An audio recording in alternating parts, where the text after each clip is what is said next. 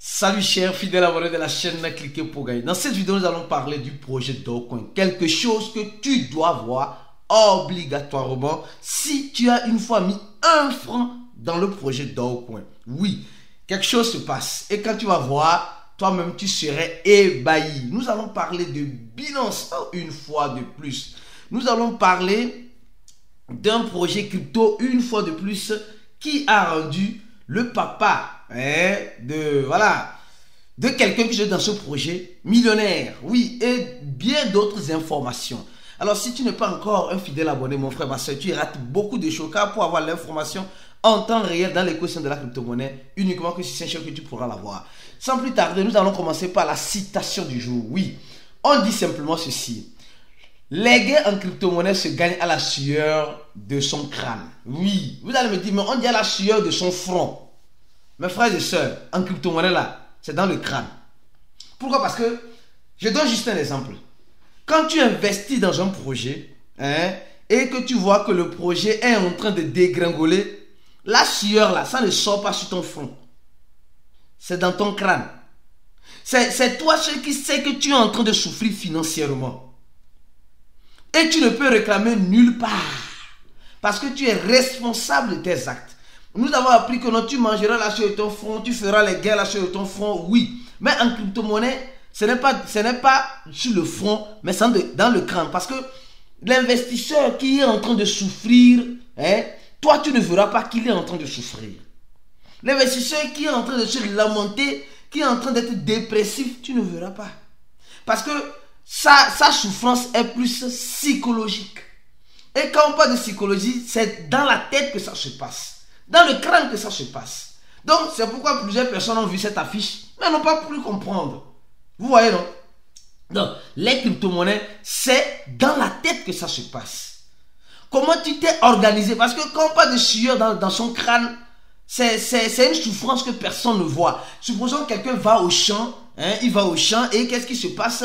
Et il est en train de suer. Les gens diront non, celui-là il est fatigué. Celui-là le soleil est en train de le frapper. Mais en crypto-monnaie, on ne voit pas. On voit que c'est dans le rouge. Mais la souffrance intérieure, tu comment dans le rouge et, et tu pleures, c'est dans la tête que ça se passe. Donc c'est plus psychologique. Donc, et quand quelqu'un te dira que tu te fais de l'argent facilement en crypto-monnaie, réponds-le, c'est pas facilement. Parce que tu as sué hein, dans ton crâne que lui n'a pas vu sur ton front. C'est ça. Alors, on va parler rapidement du prix du Bitcoin. Vous voyez, aujourd'hui, le Bitcoin est à 27 590 dollars, 88 dollars. Mais, bon, franchement, le Bitcoin, oh, où est-ce que tu vas aller concrètement pour que nous puissions hein, nous satisfaire? Les gens sont fatigués, on en a marre, ou bien, les gars, on en a marre. Et concernant le Bitcoin, on va commencer par parler de cette information. Oui. En 2010, 2011, 2012, 2013, 2014, 2015, 2016, 2017, 2018, 2019, 2020, 2021, 2022 et 2023. Hein, S'il te plaît. Quand est-ce que toi tu as connu les crypto-monnaies Laisse l'année que toi tu as connu les crypto-monnaies. Moi j'ai connu les crypto-monnaies en 2013. Et quand j'ai connu les crypto-monnaies en 2013, j'ai commencé par investir en 2014 et 2015. D'accord J'ai commencé à en 2014-2015.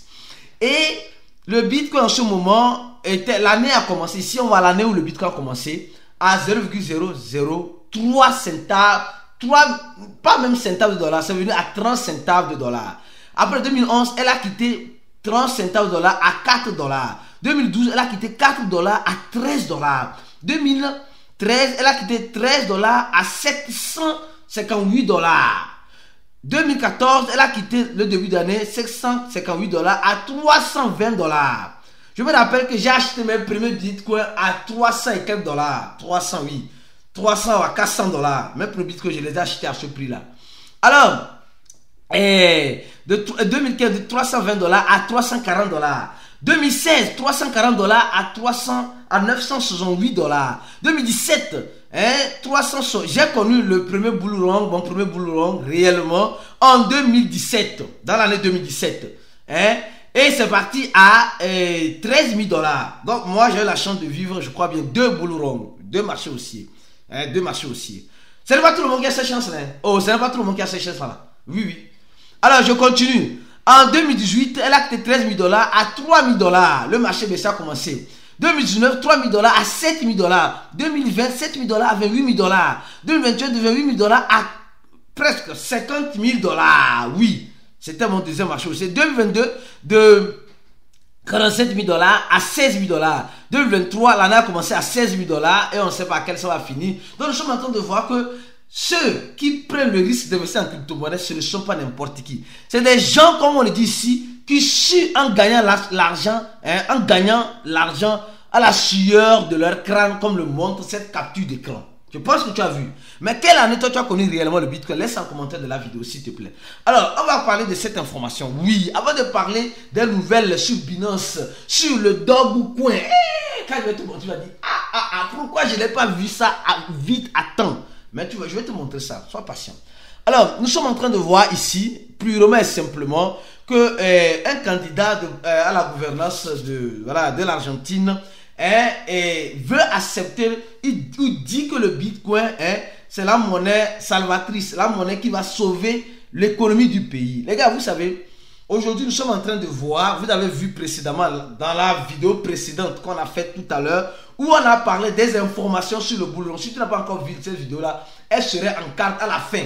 Donc regarde là, c'est très important. Alors nous avons parlé des informations qui annoncent peut-être, hein, ou qui, annoncent, qui ont annoncé selon mes expériences, euh, le marché aussi. Donc ces informations commençaient pas à sortir. Voilà encore un politicien encore qui, dans c'est la chute logique de la vidéo précédente, qui, qui dit simplement que pour sortir de la crise, on doit adopter hein, d'abord l'écosystème de la crypto, surtout en acceptant les CBDC, contrairement hein, au Bitcoin. Les gars, les CBDC, c'est juste la poudre aux yeux. C'est juste pour nous dire simplement que non, aucun gouvernement ne va franchement dire qu'ils vont laisser la monnaie fiduciaire adopter les cryptos. Hein. Même si le El Salvador est en train d'aller dans cette optique-là, dans cette lignée-là, ça serait difficile. Mais pour le moment, on n'a pas vu le El Salvador parler de CBDC. C'est les autres pays qui n'ont pas encore adopté le Bitcoin qui parlent de cette technologie d'adoption des CBDC. C'est-à-dire qu'ils veulent créer un pont entre les cryptos et entre les cryptos et les, et, voilà, et la monnaie fiduciaire. Mais voilà, une autre information que tu dois prendre très très très au sérieux. Oui, très au sérieux. On dit les futurs paiements, les futurs paiements de visa. Hein, on a déjà parlé. Ceux qui ont regardé la vidéo précédente aussi, vous avez compris. C'est pourquoi il dit, sur ces chaînes, tu n'as pas regardé une vidéo, alors sois-en sûr que tu ne vas pas comprendre celle-ci. C'est important. Donc, prenez le temps de vous abonner et d'activer la cloche de notification parce que nous faisons des vidéos, deux vidéos par jour. Nous faisons deux vidéos plus une vidéo short. Donc ça fait trois vidéos par jour pour t'informer parce qu'en crypto-monnaie, il y a tellement d'informations. Et quand tu prends ces informations-là, tu les lis, tu les lis, tu les lis. Alors tu commences par te construire une analyse intéressante dans l'écosystème.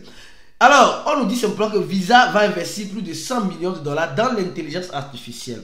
Et nous savons qu'on a déjà parlé de l'intelligence artificielle. Qu'est-ce qu'elle elle, ne consomme pas l'électricité, mais elle consomme plus l'eau hein, pour rafraîchir les serveurs. Et l'intelligence artificielle, nous savons la force et le pouvoir de cette intelligence artificielle qui va remplacer malheureusement l'être humain que nous sommes. Donc, il y a déjà des, des, des, boîtes comme Visa qui ont décidé de commencer par se lancer dedans à bras le corps parce qu'ils se disent que, non, ça ne sert à rien de toujours confier la gestion hein, à, l'être humain, hein, au lieu qu'on peut confier ça à une machine qui peut mieux faire. Donc, l'injection des millions de dollars dans l'intelligence artificielle va faire que, voilà, Visa ne va pas mourir. Mais il faut que aussi Visa commence par adopter cette technologie aussi de la blockchain comme elle, elle, elle prétend le faire.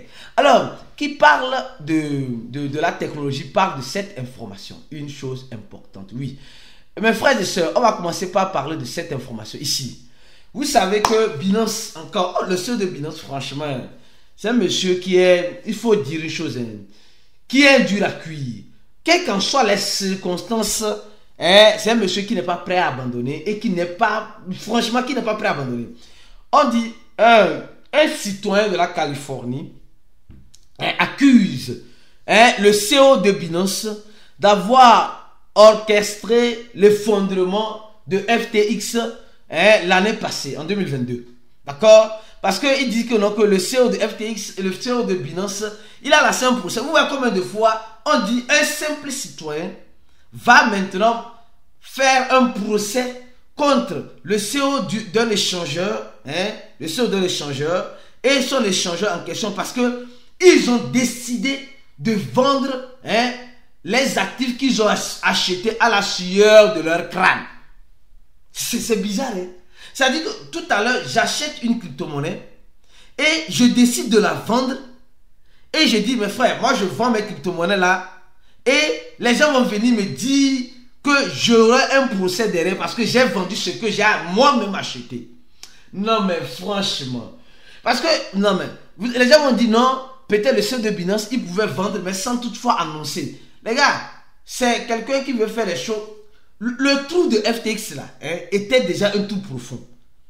Aujourd'hui, nous sommes en train de chercher le coupable. Le coupable, c'est la même personne hein, qui, en quelque sorte, hein, n'a pas su gérer sa plateforme comme cela se doit. C'est tout. Les gens ont crié, on a tous crié que Binance va tomber. Binance est prêt pour tomber. Binance doit tomber. Mais Binance n'est pas tombé. Quand tu demandes un retrait, ça passe. Quand tu fais un dépôt, ça passe. Mais quand est-ce que Binance va tomber? C'est parce que la gestion dans Binance est consolidée. Les gens disent non, on va vendre nos BNB. je ne veux plus le BNB, c'est fini. Mais les gens ont vendu leur BNB. Est-ce que Binance est mort?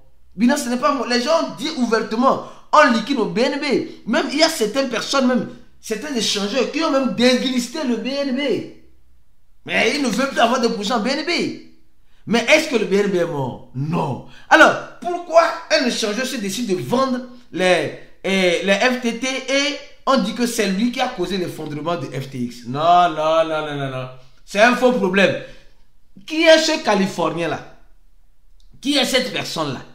Qui est cette personne-là Si vous, vous fouillez bien encore là, on dit ce Californien, cet Américain qui, qui est en train de rentrer en procès contre Binance, si tu fouilles bien là, là hein, c'est encore quelqu'un que même le même gouvernement a payé hein, pour aller... Non, les gens sont... Bon, vous avez compris. Alors, une autre information très importante sur le projet Ripple, là, les gars. Ripple, eh, où en est-il du prix de Ripple? Eh, Le prix de Ripple est à 50 centaves. Savez-vous Peut-être tu ne sais pas. Savez-vous ceci? Peut-être tu ne sais pas, tu vas le savoir tout à l'heure. On lui simplement est le CTO, c'est-à-dire que l'un des responsables techniques de Ripple, hein, qui s'appelle David, je crois bien, dit simplement qu'en 2014, son papa a acheté plus de 1 million de Ripple en 2014, au moment où le Bitcoin était à combien? Au moment où le Bitcoin était à 7, entre 700 début, 750 début d'année à 350. Hein? Donc, laisse en commentaire de la vidéo l'année que tu as connu le Bitcoin, s'il te plaît. L'année que toi, tu as connu. Pas l'année que tu as entendu parler. L'année que tu as entendu parler et l'année que tu as commencé par investir. Moi, j'ai écouté parler du Bitcoin en 2013, mais j'ai commencé à investir entre 2014 et 2015. Voilà. Donc, euh, je pense que ça fait déjà hein, presque quelques années que j'ai acquis beaucoup d'expérience dans cet écosystème. Donc, je ne viens pas Hein, je ne suis pas, excusez-moi le terme, je ne suis pas un expert, mais je suis un vétéran parce que je sais pertinemment que je viens de très loin. C'est pourquoi l'expérience que j'ai vécue depuis que j'ai entendu parler des crypto-monnaies, l'expérience que j'ai vécue depuis que j'ai commencé par acheter les crypto-monnaies, j'ai acquis beaucoup d'expérience, assez d'expérience, tellement d'expérience que Aujourd'hui, nous avons mis en place un cours, le seul cours qui te parle, le seul cours qui te montre, le seul cours qui te, qui te tient la main en te parlant des expériences vécues durant tout ce temps-là. Comment le boulot peut arriver, comment tu dois te préparer au boulot? Parce que les gens se préparent de façon eh, gauche. Les gens vont voir ce boulot et ils ne vont pas comprendre. Moi, je me rappelle pertinemment des deux boulons que j'ai pu vivre réellement, où j'ai gagné de l'argent. Je me rappelle que chaque boulon a ses spécificités, a ses caractéristiques. Et la préparation du boulon précédent n'est pas la même préparation du boulon qui arrivera ou qui arrivera dans les années ou dans les mois à venir. Non, la préparation est différente. C'est pourquoi si tu veux apprendre Hein, d'un vétéran, de quelqu'un qui a eu l'expérience de vivre plusieurs fois cela, viens rapidement remplir ce formulaire-là et paie 100 dollars et tu auras accès à notre groupe VIP, à tout ce que nous avons gagné comme expérience et apprendre le trading futur, le trading sport, le P2P et bien d'autres informations dans l'écosystème de la crypto-monnaie. Alors donc, je continue lentement sûrement. Le, eh, le papa de ce, de, voilà, de, de, de cet exécutif dans dans Ripple, il a investi euh, il a acheté plus de 1 million de Ripple en 2014 où le prix de Ripple était à 0,005. Même pas quelques centaines, quelques miettes de dollars pour acheter un Ripple. Mais aujourd'hui, on voit un Ripple, hein, on voit purement un Ripple à combien? À plus de 50 centaves. Donc le gars a fait combien? Comme bénéfice hein? Ça a brûlé 2-0. 2-0. Vous voyez, 2-0. Donc le papa de ce monsieur est devenu millionnaire, vous avez compris. Donc, crypto-monnaie là, hein, ce n'est pas l'argent à la sueur de nos fronts, mais c'est l'argent à la sueur de nos crânes. Parce que c'est nous seulement qui souffrons et c'est nous qui seulement qui savons combien nous souffrons, comment nous souffrons. Alors, qui parle encore de Binance? Oui, Binance nous dit ceci. Hein, Binance nous dit encore ceci. Le seul de Binance nous dit, vous savez, nous, nous sommes là pour aider ceux qui veulent être aidés. Binance dit ceci, qu'ils ont démantelé un réseau hein, de, de, de crypto-scans ils ont, ils ont pu avoir plus de 277 millions de dollars avec l'aide ou en aidant la police de la, euh, de la Thaïlande, je crois bien. Donc, nous voyons combien de fois Binance est décidé à lutter, hein, à lutter contre hein, hein, les cybercriminels qui utilisent le nom de la crypto-monnaie. Donc, ça ne sert à rien d'aller contre les crypto-monnaies ou contre Binance, mais c'est s'associer avec Binance pour travailler ensemble pour arrêter les criminels qui vont utiliser la plateforme de Binance pour leur blanchiment d'argent, bien, bien de tout choses. Donc, je pense que c'est une bonne information. Alors, quelle est cette information sur Dogcoin Oui, on va voir rapidement le prix du Dogcoin. Et eh, les gars, vous savez qu'on a oublié le Dogcoin, non? Le Dogcoin a été oublié. Mais moi, ici, sur cette chaîne, on va vous rappeler qu'il y a quelque chose qui va arriver avec le Dogcoin. Quelque chose se prépare. Est-ce que tu es prêt à voir ce qui se prépare? Est-ce que tu es réellement prêt? Je crois bien que tu es réellement prêt pour voir. Alors, si tu es réellement prêt, regarde ceci. Est-ce que tu as compris ça? D'abord, ici, c'est les adresses qui détiennent assez de Dogcoin. Hein, assez de Dogcoin. Ceux qui ont regardé la vidéo précédente, on avait déjà parlé hein, du boulot rond qui arrive et les informations que tu dois savoir. Ici, nous sommes en train de parler de quoi? De du Dogcoin. Et nous sommes, je vais vous montrer quelque chose. Regardez. D'abord, d'abord, c'est pourquoi il dit, si toi tu n'es pas un abonné, d'abord donne j'aime la vidéo. Merci d'abord donner j'aime la vidéo et abonne-toi. Avant, nous voyons que c'était Binance qui était l'adresse qui détenait assez de Dogcoin. D'accord? Assez de Dogcoin. Après, il y a un autre wallet, euh, et d'autres wallets. Mais depuis un temps, il y a une adresse qui a été créée, les gars, franchement. Non, vous allez me dire que non. Il y a une adresse qui a été créée depuis, voilà, 2022, d'accord? Qui emmagasine beaucoup de Ripple. C'est le top 2. D'abord, première adresse, c'est l'adresse de l'échangeur. Et après, vous allez voir l'adresse, la plupart des échangeurs. On va prendre le top 10, d'accord? Alors, ici, bon, on voit que cette adresse-là a été créée depuis 2022 et a fait seulement que 6 transactions. Et depuis dès lors, c'est resté comme cela avec 76 millions de dollars. D'accord? Alors, ici, on continue de voir qu'il y a une autre adresse ici, ici, une autre adresse. Ici, c'est l'adresse de Burn. Savez-vous que le Dogecoin aussi a une adresse de burn Si tu veux brûler ton Dogecoin, envoie ça juste à cette adresse et le burn a été effectué. Donc, et sur cette adresse de burn, on a plus de, voilà, 114 910 018 dollars. Au moment où je fais cette vidéo, bien sûr. C'est-à-dire plus de 1 milliard, plus de 1 milliard de, Dogecoin. Sixième adresse, l'adresse de Dogecoin Hein, qui a été créé hein, en quelque sorte en 2022, nous voyons que tout ça, ça allait avec 2022. Or, quand on voit le Bitcoin en 2022, le Bitcoin était entre 47 000 dollars et 16 000 dollars. Donc, ces personnes-là, si ont acheté ça vers la fin de l'année, sont presque hein, en bénéfice. Préparez-vous. Ça continue l'analyse. Et je continue, je continue. Et là, maintenant, arrivé ici, c'est Binance, c'est l'adresse de Binance. Ici, cette adresse-là qui détient plus de 8 milliards de Dogecoin. Mais cette adresse a été créée quand En 2022. Et quand nous voyons les mouvements de cette adresse, rapidement, vous allez voir que cette adresse ne cesse. Non, regardez très bien. Ce n'est pas moi, Aristide, qui dit. Regardez, quand on dit plus là, c'est que c'est les entrées seulement de cette adresse. C'est les entrées. Il y, a, il y a quelques sorties, mais on voit plus d'entrées que de sorties. Il y a eu 1, 2, 3, des grandes quantités de sorties, plus de 160 millions de, de Dogecoin, 200 millions de, 200 euh, millions de etc. Mais il y a tellement d'entrées depuis la création que de sorties. Donc, cette adresse est en train d'emmagasiner les Dogecoin. Et elle dépasse même en stock l'échangeur, le plus grand échangeur des crypto-monnaies qui est le Binance que nous voyons, peut-être ça va de quoi Mais la première adresse, c'est cette adresse-là qui m'a surpris.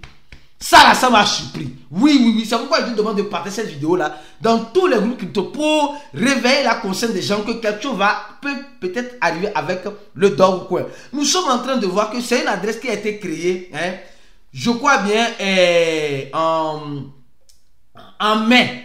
En mai. Cette adresse a été créée en mai. Je dis bien en mai, cette adresse a été créée. Et cette adresse a été créée, il n'y a jamais eu de retrait. Et depuis le mois passé, nous sommes en train de voir que depuis les, euh, euh, euh, les mois, chaque mois, cette adresse ne fait qu'acheter les dog coins. Regardez.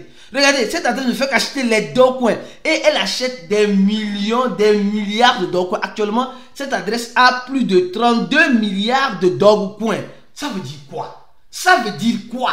Est-ce que c'est l'adresse de Elon Musk? Et qu'est-ce que vous en pensez?